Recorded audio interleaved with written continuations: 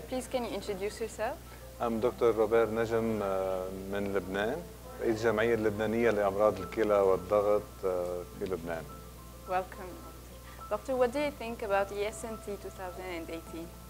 Uh, ESNT meeting, as usual, is an excellent meeting, very well prepared, and uh, subjects are very uh, updated, and with excellent speakers, as every year.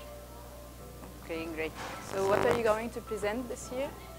Uh, this year I will present uh, the part of World Kidney Day uh, team this year. It's a woman as kidney donors, a special uh, subject because we know uh, that women donate more than men, their kidneys.